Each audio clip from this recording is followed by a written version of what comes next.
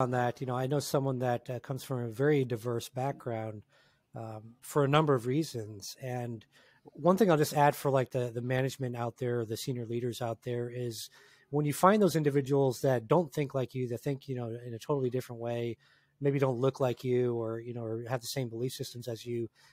Focus on empowering them because this particular individual invented a completely new technology by just having their management team empower them to be able to do so. So you may find yourself, you know, this. this so I, what I want to say about the diversity issue, right? Because some people say, "Oh, let's hire a diversity officer and uh, everything's good." Think of it as a revenue driver as well, right? Think of it in the business aspect of this can really drive revenue. Your company can explode in growth if you just empower people the right way and bring in a diverse team. If you try to do it the old school way, then uh, good luck. I'll I'll see you in the bankruptcy line, right?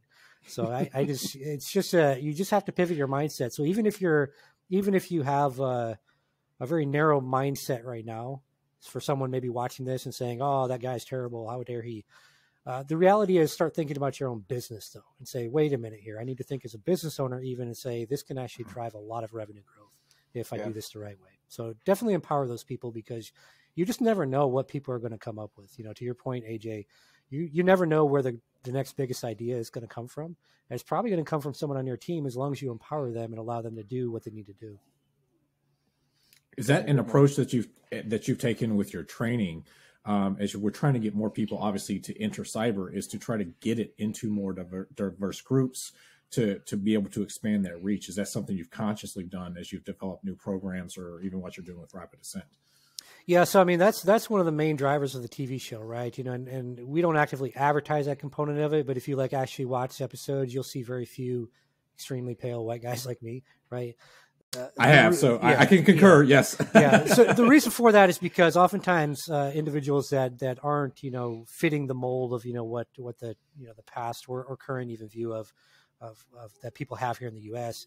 They don't get a chance at a voice, and you know this platform, the Cyber Life in particular, allows them to get their voice in front of literally millions of people globally because there's some kid out there that's going to look at this and say, "Oh, that person looks like me or talks like me or had a similar, you know, experience as me." And that's going to be the thing that pulls them into IT or cyber. It's not going to be the fact that you're showing them how to spin up Kali Linux or, or whatever. Mm-hmm. Like that stuff's cool, but like there's a lot of people that do that. It's going to be that they need to see someone that looks like them, eh, successful in these roles. That's going to be the thing that triggers them to say, "Oh, I can do that."